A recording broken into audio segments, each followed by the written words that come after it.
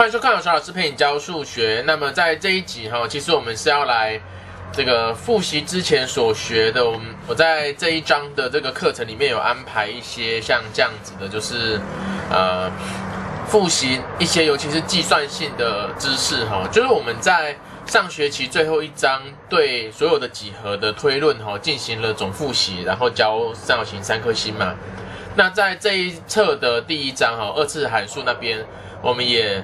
大略的，就是复习完了关于解二次方程式，那当然也有一些这个方程式列式的问题嘛。那但是呢，就是有一些不是方程式，也不是几何的，比如说像是这个比例啊，好，那个数字的推论啊，公因数、公倍数啊，好，那可能就没有复习到。那这个呃，当然学校老师会安排复习的进度啦，那学生自己可能也会安排复习的进度哈。那所以我们就利用这样子来讨论，来去做一下复习。然后我强调一点，就是如果你要进行复习的话，哈，不要只是就是等着考试和检讨考卷，哈，包括不要只是等我讲，等我看完，我们教完这几题，你就觉得说，哦耶，我复习完了，哈，你应该要整个去看，哈，整个去重看。现如果是在国三下看到这一集，那有点晚了，哈。那其实我在。国三上最后一章的时候，我就有提醒大家哈，就是你应该要就是开始展开自己的复习进度哈。那么来看这一题哈，就是我们既然是呃复习哈，所以会从这个比较难一点的题目直接开始说明哈。那带大家思考思考哈，不知道你在写作业的时候有没有写对呢？粉丝页哈，沙迪哈的粉丝页暗赞的。女粉丝里面有八十二趴是学生，其余不是，其余不是学生哦，是成年人哦。那就是题目的设定啦，就是成年人不是学生，学生不是成年人哦，他们刚好就占了全部哦。那这个呃题目这样写了，觉得大家会懂了哈。那男粉丝里面占学男粉丝占所有的学生的七成，然后成年呃成年粉丝里面哈，男生有三十三人，女生有。五百六十七人哈，那么请问 Study Hard 的粉丝页按赞的有几人啊？那这个所以说就是呃，不要没事去 argue 题目哈，就是题目并没有说，我并没有要强调说现实中成年人一定不是学生哈，但是题目是这样设定了哈，就接受哈，那我们就算数学，算我们的数学。那么哦，所以这个粉丝有男生有女生。那他说女生女粉丝里面哈有学生，那男粉丝应该也有嘛？学生跟成年人哦。那女粉丝里面学生占八十二趴，换句话说，这里是八十二比十八趴哈。那趴拿掉，然后同除以二的话，其实是九比四十一哈。OK，然后他说男粉丝里面学生占七成嘛，所以这边是七比三，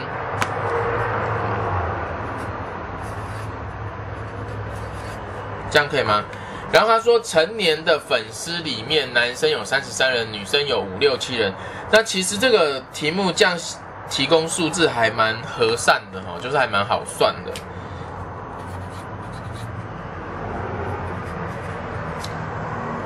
他问你说整个粉丝页按赞的人是有几人？那我为什么说蛮好算的哈？就是说他这里已经给真实数字了，所以你不需要到设 R，然后还去求解什么的哈，不需要。好，那所以我觉得还蛮好算的。那这里是三十三人呐，三比七比三嘛，所以我们就可以回过来填这一格是七十七人嘛，对不对？然后这里是五六七人哈，除以九乘以四十一哈。这个五六七乘以九分之四十一，哦，九六五十四，然后九三二十七，所以六十三乘四十一，哦，六四二十四，十二二五二零，好，所以这个四十六十三这样，所以是。二五八三，可以吗？哦，那所以这样总共有几人呢？哦，就全部加起来，共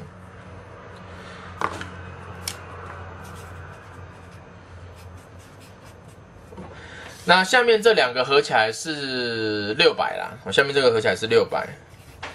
上面这个三加七进一六，三加三加七进一是八嘛，八八十六，二六六零，好，所以是三二六零，好，三二六零。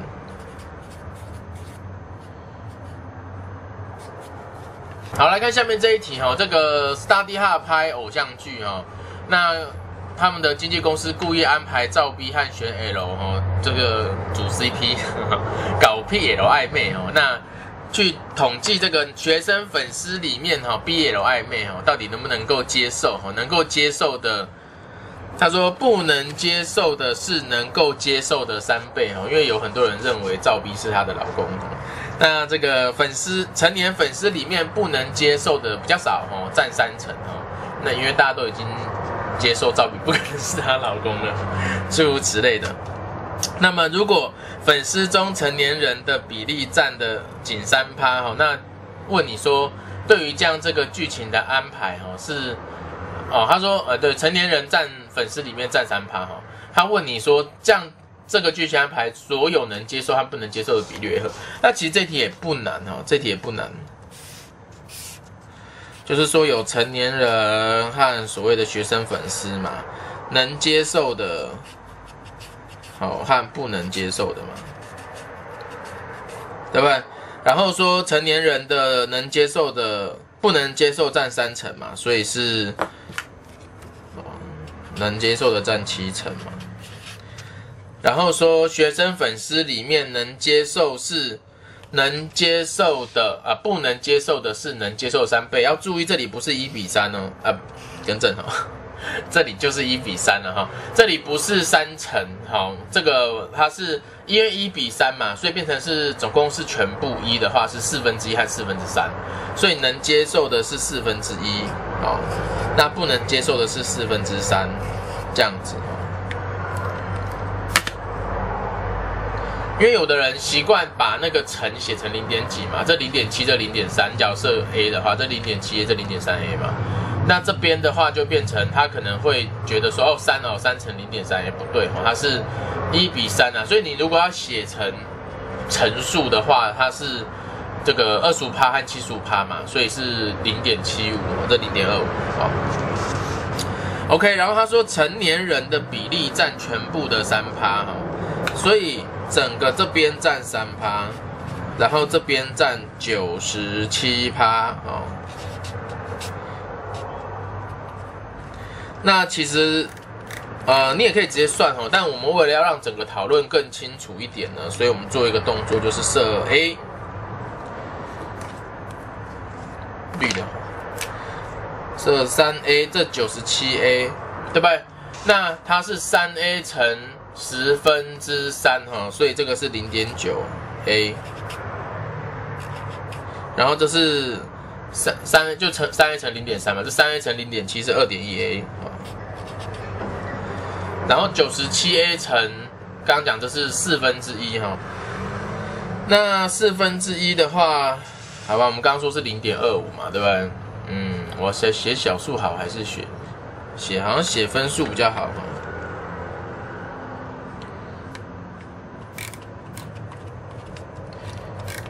比较好算所以这个是十分之九，这个是十分之二十一，那这是四分之一哈，所以它是四分之九十七，然后这个是四分之九十七乘以三，所以是四分之好，你如果一百乘以三的话，三百嘛，然后三百减九，这个两百九十一啊，但你可以直接去乘的哈，我只是提供另一个乘法。哎这样可以吗？好，那所以他说啊，这样子总共能接受和不能接受的比例哈，嗯，我们可以通到二十嘛，所以这边是二十分之这个四十二加上这边乘以五的话是这边乘以二嘛，这边乘以五，好，四百五三百七四百七十，哎，三百五四百七十五。四百八十五，四百五三三十五，四百八十五。那所以这两个合起来的话是五百二十七。那一样通分哈，这个通道二十的话是十八，然后这个通道，啊，这个乘以五哈，乘以五的话是，如果三百乘以五的话是一五零零一千五百，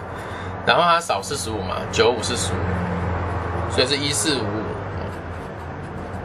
啊，对啊，直接去乘也是一四五五啊，我我后来有用脑袋很快的乘下，应该是一四五。所以可以相信它。那这里整个合起来会是这个三进一七一四七三。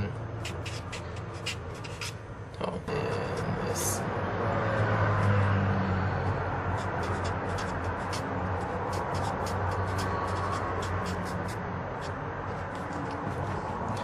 好，所以它的答案哈就是五二七乘以一四七三呐，这样子哈。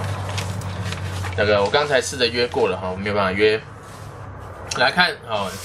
一样是之前的问题。偶像团体 Study Hard 哈组队参加南坎西小型龙舟赛哈，南坎西在我家旁边。好，赛车呢，这个赛事呢分别为逆流而上和顺流而下两个阶段哈。逆流而上的时候，他们的时速是四公里，我不知道这样算快还是慢哈。那顺流而下的时候呢，时速是十四公里哈。问你两趟合计平均为多少？那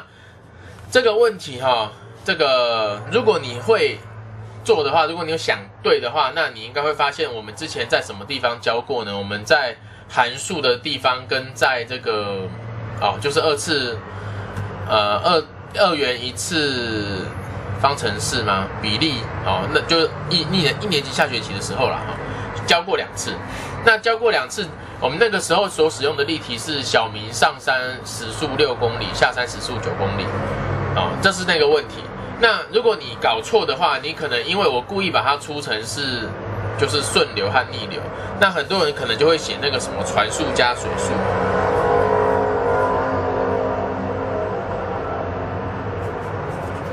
船速加水速是四公里，船速减水速是十四公里。哈，就讲你今天算这个嘛，船速加水速等于四公里。船速减水速等于啊，减的才是十四，减的才是四哈，加的是十四。那如果你去算这个的话呢，这个是啊没用的了哈。那第一个就是它题目不是问你传速跟水速，第二个题目也没有跟你保证，就是说啊传速固定啊水速也是固定哦都没有，所以就是这题不是算这个的啊。没用的计算哈，就是说你你这样去算不能说错啊，你也是算出了一些什么，但是这个东西没有用哦。第一个，它题目没有说它真的是传输固定、水速固定哈。那第二个就是说，我们也不是要问这个。那这一题呢，就是假设河流总长是 L 哦。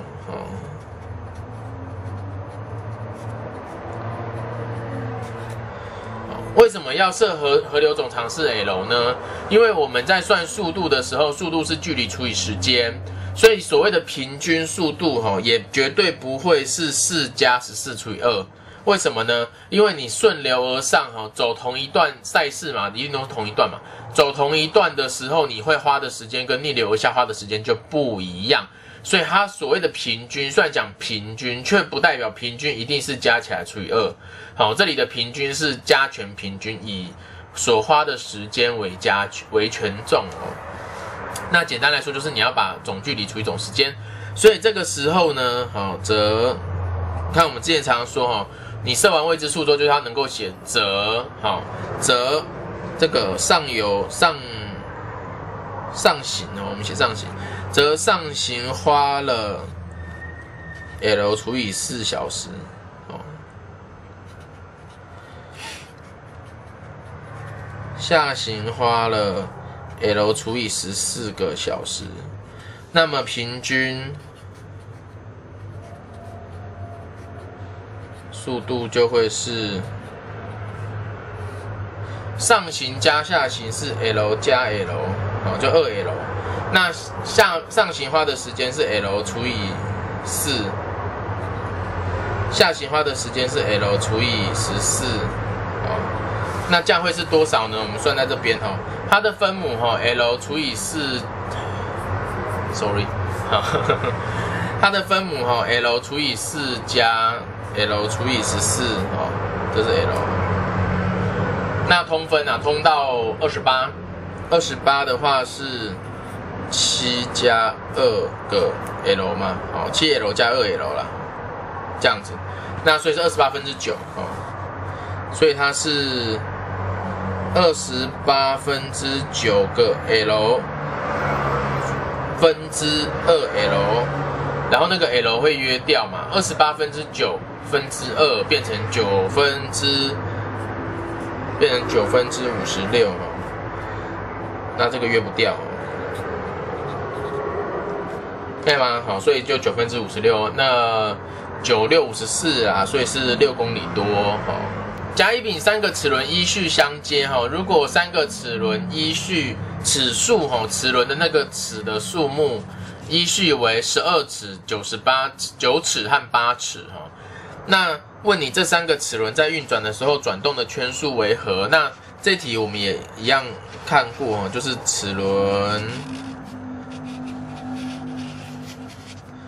看更小一点的嘛，那简单来说，就它转动的时候是一齿推动一齿哦。那总共转动的齿轮数，如果你有一你一圈有十二齿，我绕了五圈，那我不是就转动六十齿？那我转动六十齿，你也会被我推着转动六十齿。那你一圈是九齿嘛？所以你要转动几圈？那它要转动几圈？好，所以这个总动转动总共转动的齿轮数相同，我们就可以知道说，你转的三个齿轮哈，所转的圈数十二乘以它的圈数是 a，会等于九乘上它的圈数是 b，会等于八乘上它的圈数是 c 的话，那么它转转动的圈数比哦，这两个会固。乘起来是一个定值哈，这两个成反比啦，所以 a 比 b 比 c 会等于十二分之一比九分之一比八分之一，所以是就通分通到七十二哈，所以这个同七同乘七十二，这是六比八比九，六比八比九，那这就答案了，可以吗？好，那这也是之前的作业哈，那就是我们说我们复习一下比例的东西哈。那因为已经教过了，我不整个全部都重教哦哈。那我就挑选我认为比较好的思考的的技巧的这个方式去跟你们做示范哈。那所以像上面这一题，这个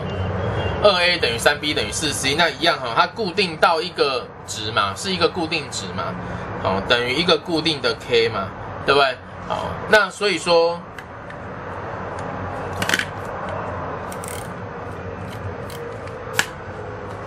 所以说哈，这个既然他们会等于一个固定的 k，所以这两个成反比啦，这个 a 比 b 比 c 会等于成反比就是成导数比哈，所以是二分之一比三分之一比四分之一。如果你觉得我这样讲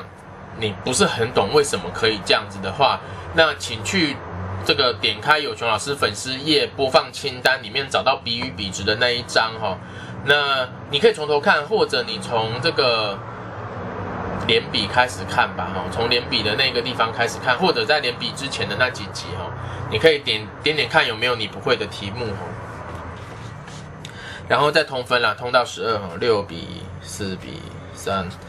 好，好，那像这一题，哈，你把它除以二，把它也除以二，哈，二 a 比啊一 a 好比三 b 比四 c 就会是二分之一比。这个三二比三嘛，因为我就是把这个变一半，这个也变一半啊，对不对？既然两个 a 比你们是一比二比三，那半个 a 比你们就二比一比二比三。同样的哈，把它除以三，它就除以三；把它除以四，它就除以四哈。所以这边可以得到 a 比 b 比 c 就是二分之一比三分之二比四分之三。同样的，如果你觉得这样子讲太快了，你不太了解为什么可以这样，请去找之前的那几集来看哈。那所以说呢，颠倒过来，a 分之一比 b 分之一比 c 分之一呢，就会是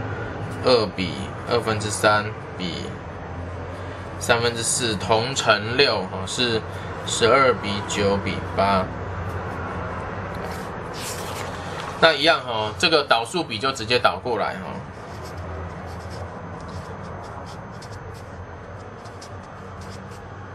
三分之一比四分之一等于六比四比三。好，那像这个问题也是我们在连笔的那一章啊，或者是在那个比例的比较较进阶题的那一章哈，就有提到，我把三个同乘 A、B、C 啦，三个同乘 A、B、C 就会得到二 C 等于三 A 等于四 B a 比 B 比 C 等于三分之一比四分之一比二分之一等于这样子。那这个哈也是在那一集有提到，我们左边同乘就好了，右边不需要，所以就会得到这边同乘哈，C 比 A 比 B，啊，之所以乘一边就好，是因为它有点像是上下扩分的概念哈，所以这个分之六是二嘛，那我如果上下同乘二，六分之十二也还是二啊，所以这边就不用动嘛，我只要乘左边都有三项都有乘到就好了。所以这个是一比二比三的话，那么 A 比 B 比 C 等于二比三比一，可以吗？好，好，那我们这一集就上到这里。